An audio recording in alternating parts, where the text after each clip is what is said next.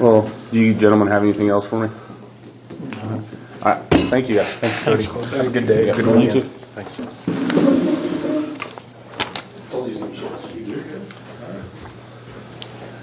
I'd like to call executive session for 10 minutes for personnel, please. Make a motion that we ha- go into 10 minutes executive session for personnel. Second.